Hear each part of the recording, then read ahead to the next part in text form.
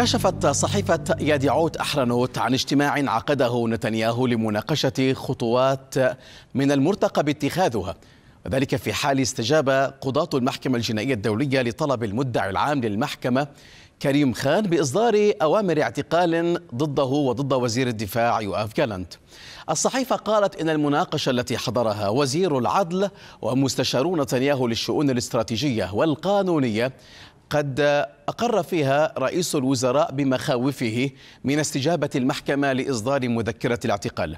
وبينت أن نتنياهو يتوقع صدور هذه المذكرة ربما قبل رحلته لمخاطبة الكونغرس في الرابع والعشرين من يوليو.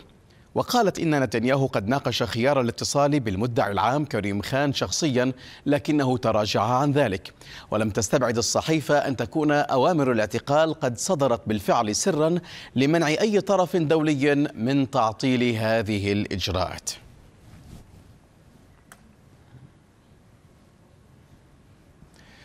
معي مباشرة من القدس مراسلة الحدث لانا كولا غاصي أهلا ومرحبا بك لانا. إذا لو تنقلين لنا الأجواء تحديدا بما يتحدث عنه الإسرائيليون السياسيون في إسرائيل لربما مخاوف الليكود وتحديدا نتنياهو لربما من قرب هذه الخطوة المتعلقة بإصدار مذكرات اعتقال بحق نتنياهو وجالنت بالفعل حقيقة تخوفات كبيرة في الليكود طبعا برئاسة بنيامين نتنياهو رئيس الوزراء الإسرائيلي وأيضا تخوفات لدى وزير الدفاع الإسرائيلي يوآف جالانت.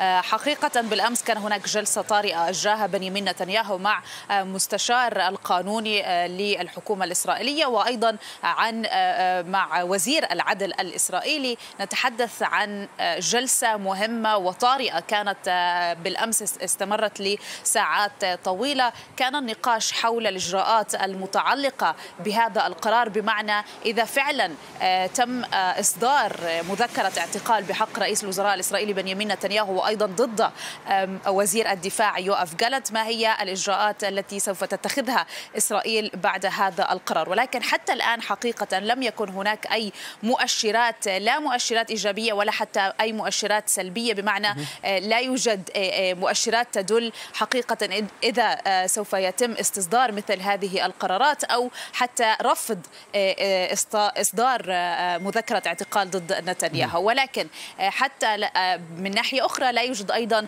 فترة زمنية. بمعنى هناك بعض الأمور التي يتم اتخاذ مثل هذه الإجراءات خلال شهر ولكن ربما أيضا يعني تتخذ أكثر من ثمانية أشهر وبالتالي هي مدة زمنية طويلة. ولكن بنيامين نتنياهو حسب حسب صحيفة يدعوت احرنوت نعم. يعني نقلت عنه يدعي بأنه من الممكن أن يتم إصدار مثل هذا القرار. هذه تخوفات كبيرة خاصة بأن أكثر من 120 دولة هي قامت بالتوقيع على اتفاقية روما واللي هي بالأساس يعني تضم صلاحيات المحكمة الجنائية الدولية. وبمعنى رئيس الوزراء الإسرائيلي إذا تم إصدار مثل هذا القانون سوف يمنع من السفر إلى 124 أو 23 عفوا نعم. دولة حول العالم.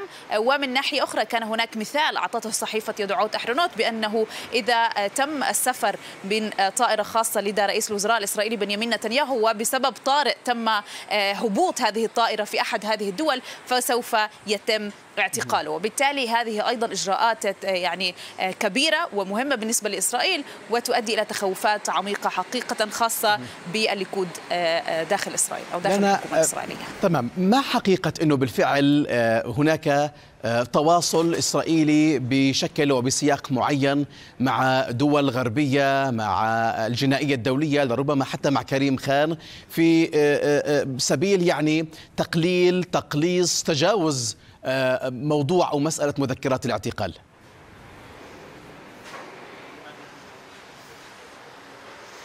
الصحيفة الإسرائيلية كانت تقول أنه ربما يكون هناك بالأساس يعني استصدار مثل هذه القوانين ولكن سرا حتى لم يك حتى لا يكون هناك تلاعب أو حتى ضغوطات دولية أو ضغوطات من بعض الدول لمنع مثل هذه القرارات. ولكن حتى الآن حقيقة ربما هذه أمور يعني سرية وداخلية جدا لا يتم الحديث عنها علنا لا لوسائل التواصل الاجتماعي ولا حتى لوسائل الإعلام. وبالتالي من الممكن أن تكون مثل هذه القرارات خاصة بأن الولايات المتحدة كانت قد تحدثت مرارا وتكرارا في الأشهر الماضية بأنها تحاول الضغط على المحكمة الدولية ولكن حتى الآن حقيقة لا معلومات بخصوص هذه النقطة. لنا هل صحيح بحسب بعض التسريبات لربما حتى بحسب ما جاء في يد أحرنوت أن مسؤولين إسرائيليين آخرين يعني غير نتنياهو وجالنت أه، أصبحوا يخشون كذلك من إدراج أسمائهم في المسار ذاته بأن يصدر كريم خان بعد ذلك مذكرات اعتقال بحقهم. بالفعل هذا الأمر منتشر ليس فقط كما تحدثت لدى السياسيين إنما أيضا آه، داخل الجيش الإسرائيلي. هناك أعداد كبيرة من الجنود الإسرائيليين والضباط حتى الذين آه، قاموا بتقديم استقالتهم لمثل هذه الأسباب خشية من أن يتم محاسبتهم في المحاكم الدولية مستقبلا. وبالتالي هذه النقطة أيضا مهمة ويعني آه، تثير مخاوف كبيرة داخل الجيش الإسرائيلي لأنه بطبيعة الحال هناك أيضا جنود إسرائيليين لديهم لديهم آه، آه، آه، أيضا جنسيات أخرى وجوازات أخرى وبالتالي هم يخشون أيضا أن يتم محاسبتهم من قبل الدول الأخرى. شكرا جزيلا. اذا من القدس مراسلة الحدث لانا كل غاصي يعطيك العافية لانا